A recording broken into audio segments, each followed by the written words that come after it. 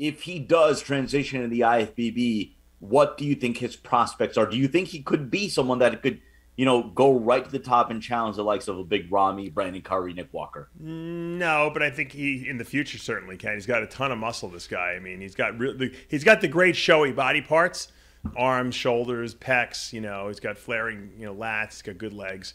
I think that you know he's. I think he's a year or two off from from really being you know amazing. You know, but I think he's certainly has. There's no doubt he's got the tool set to be at the top.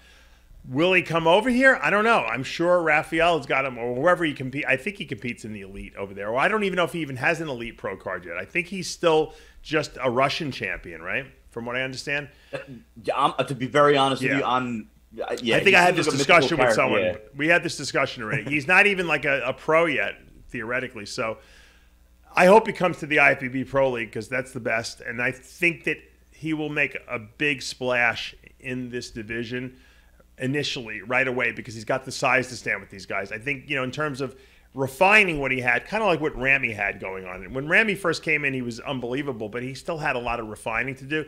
I think once he refines what he's got, I think it's going to take another year or two he's going to be very dangerous. Absolutely. He'll be competing at the top Olympia level.